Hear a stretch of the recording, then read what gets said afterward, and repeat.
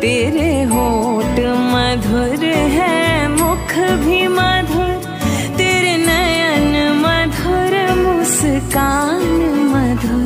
हृदय भी मधुर है, चाल